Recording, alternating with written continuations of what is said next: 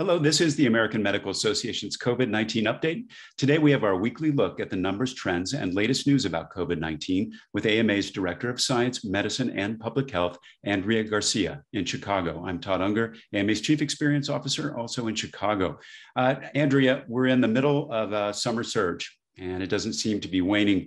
Can you give us first an update on where we are standing with cases and deaths at this point?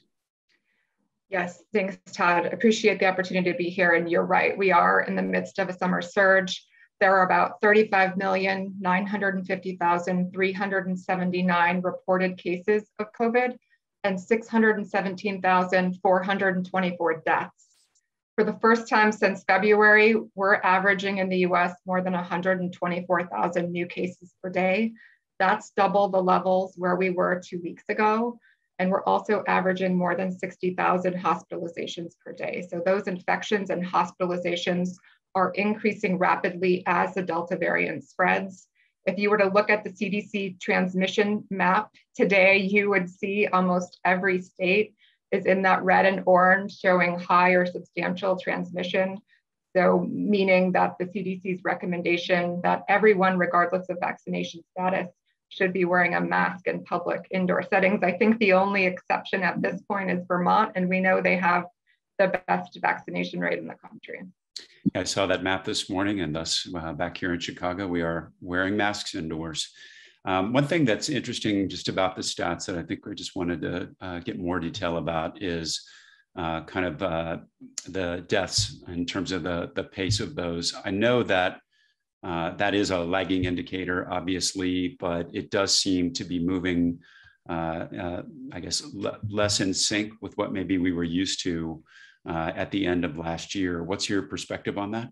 Yeah, you're right. It is. It has always been a lagging indicator. We always see the infections rise, the hospitalizations rise, and that's followed by the deaths a couple weeks later. Usually, that does seem to be slower right now, and we think that is because 80% of the US population age 65 and older. So that most vulnerable group has been fully vaccinated. So we think that is, is why we're not seeing the large increases in deaths at this point. Another piece is around uh, who's getting hospitalized at this point, and we are seeing a trend of a lot more younger people. Let's talk a little bit more about what you're seeing there. Yeah, so we just we talked about how the older populations are largely protected. Those younger populations are mostly unvaccinated at this point. So we don't think that the rise in hospitalizations in this group is because the Delta variant is worse in young adults. We think this shift uh, in patient demographic is really a result of lower vaccination rates in this group. And we're hearing from physicians working in the hotspots that the populations in their hospitals right now are not the populations that they saw last year.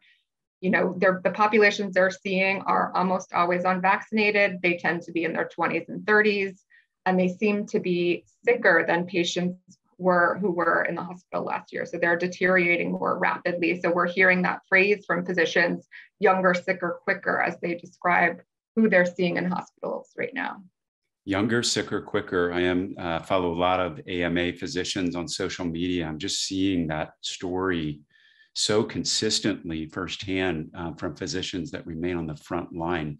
A lot of those are in the South and in Florida, other states like Texas. Um, any other kind of details on the hotspots that we're seeing right now?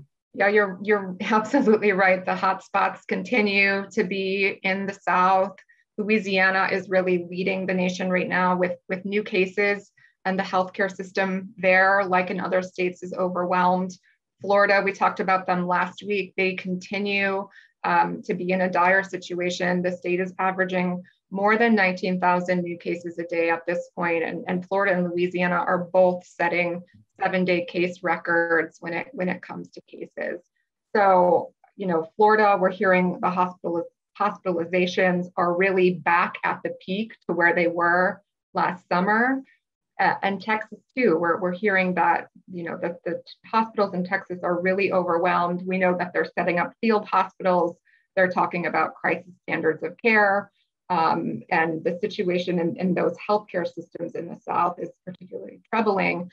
And on top of that, you know, Florida, like Texas, they're prevented from from issuing mask mandates by the governor's order, so they can't take those public health measures that we know would be so helpful right now. And that does seem to be, you know, in stark contradiction to the numbers that we're seeing in both of those states. Some states, on, on the other hand, are taking steps uh, to put in mask mandates. Do you see, you know, the positive results from that? We're seeing some. And so we're seeing mask mandates a lot more on the local level. I think on the state level, it's really Louisiana, Hawaii, Washington, D.C. Um, but cases in those hotspots earlier this summer, Missouri, Nevada, you know, we were seeing surges there. Those are starting to decline. We're seeing things starting to turn around there. Um, and and we, we talked about the silver lining really being that this crisis is, is driving some of those hard hit areas to get more of their populations vaccinated. So, uh, what are we seeing with vaccinations this week? Do we see any uptick? Uh, people getting the message about how dangerous this Delta variant is? Yeah, so the pace of vaccination continues to inch upward very slowly. So we've we've talked about you know, the last few weeks, they've, they've been slowly increasing throughout July um, into August. So we think this is partly fear and of the situation we're seeing on the ground with the Delta variant, but it's also due to an increase in mandates. So we're hearing more employers requiring their workers to be vaccinated.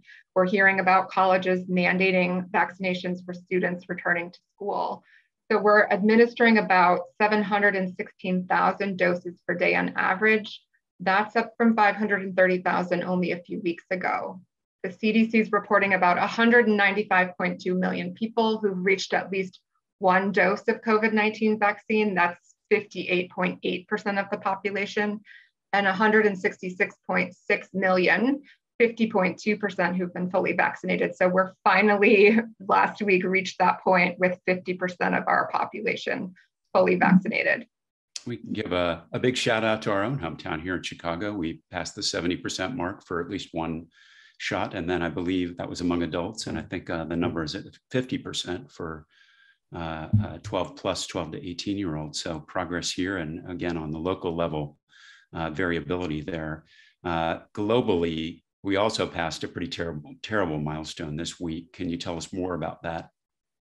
Yeah, the total global COVID cases surpassed the 200 million mark last Wednesday, and that's it's a daunting figure, um, and it's also likely an underestimate. And it doesn't really begin to capture how much the virus has impacted the world. It took us a, a year to reach 100 million cases, and now only six months later, we've reached that 200 million mark. And we know the global death toll as of last Wednesday was about 4.25 million. Again, a serious underestimate just based on the way that we collect and report COVID deaths worldwide. And we know uh, 617,000 of those deaths were right here in the US. How do you think vaccines have changed the way that we look at numbers like that, which are, you know, in scale extraordinary? I, I think it depends on the, the vaccination rate in the population. So in some places where you have a lot of vaccine, you know, a lot of vaccinated population, that rise in cases is not going to be a predictor of hospitalizations or of the healthcare system being overwhelmed. But where vaccines are scarce, that really doesn't remain changed. I mean, we, we really are still seeing that increase in cases followed by increase in hospitalizations and deaths. Um, so that we're obviously closely watching that link between vaccinations and case counts and that pressure on the healthcare system. In other countries like Britain, for example, it's the situation I think is hopeful where you have nearly 75% of people over the age of 18 fully vaccinated. And the virus there seems to at least for the moment, um, be running out of fuel and, and they seem to be seeing a real decline in case counts. Well, that dichotomy between you know countries with the vaccine and without is now playing out at another level as we start to see uh, the demand and discussion around booster shots. Can you tell us more about that? Yeah, so Israel was one of the first countries to vaccinate the vast majority of their vulnerable residents. And we know that due to the number of breakthrough infections they're seeing in their vaccinated populations, they're going to start offering booster shots to everyone older than 60. And Germany has also announced plans to offer booster shots to older residents and, and more vulnerable populations, such as the immunocompromised.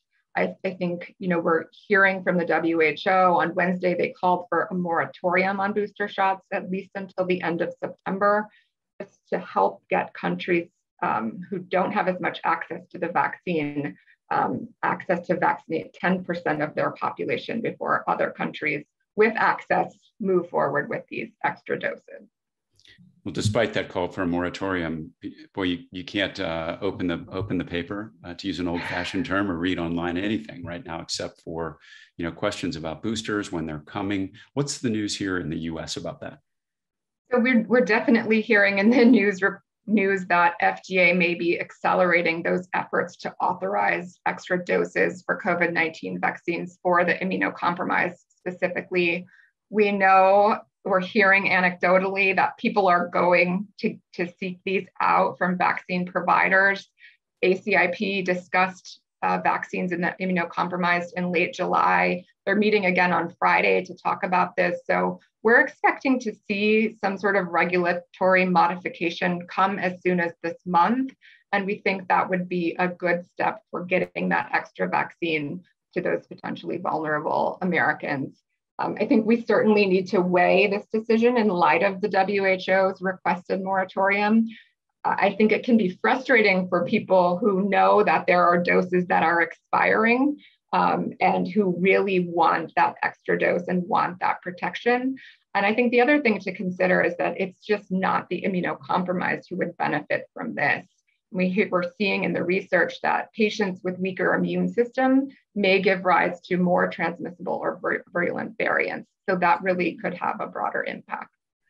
Absolutely. Well, one, one of the uh, you know obstacles for some people who are remaining to be vaccinated has been around this issue of uh, its approval. Right now, of course, we're under an EUA. There has been some news of late about when we might expect to see full approval of at least one of the vaccines. Any news on that?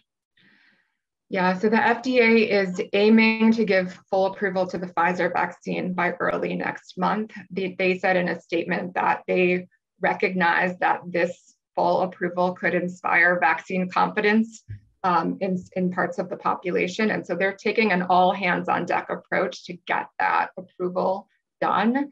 Um, and certainly we could see more vaccine mandates. We know some, some organizations are waiting for that BLA to be in place before moving, moving forward with mandates. Do you think that that had anything to do with uh, the uh, announcement this morning about from the armed services about requirements for vaccines? It certainly could. I mean, I, I know that you know some are waiting for that BLA and, and getting getting certainly the military and getting our troops vaccinated is, is one population where you know that that would be a step in the right direction. Well, last question. Any other messages from the AMA uh, this week? Yeah, so the one thing I wanted to mention is the AMA and other healthcare organizations like the American Academy of Pediatrics filed an amicus brief that supports a public health law in DC it's called the District of Columbia's Minors Consent Act. It protects minors' access to medical care by allowing those minors who are capable of informed consent to obtain vaccines, such as those recommended by, by the Advisory Committee on Immunization Practices in specific circumstances. So, of course, when physicians are treating minor, minors, the standard is to involve parents in medical decision making. But we know that that's not always possible, it's not always practical, and sometimes it's even harmful. Um, with the Delta variant surging, kids going back to school, we think this law is, really important and, and could ensure access to COVID vaccine for those kids um, age 12 and up who are currently eligible. Well, thank you so much, Andrea, for this update, for your perspective. That's it for today's COVID 19 update. We'll be back with another segment soon. Uh, in the meantime, for resources on COVID-19, visit ama-assn.org slash COVID-19. Thanks for joining us. Please take care.